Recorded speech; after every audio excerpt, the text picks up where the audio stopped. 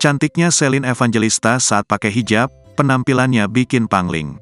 Baru-baru ini, Celine Evangelista kembali jadi sorotan. Penampilannya mengenakan hijab sukses bikin pangling. Mantan istri Stefan William itu bahkan disebut mirip Ria Ricis. Penasaran dengan penampilan Celine mengenakan hijab? Hal itu bisa dilihat melalui akun TikTok Celine Evangelista. Pada video tersebut, Celine Evangelista tampak joget-joget di depan kamera bersama rekannya. Namun yang jadi sorotan yakni penampilan mantan istri Stefan William. Pasalnya, ibu empat orang anak itu tampil tak biasa dengan mengenakan hijab.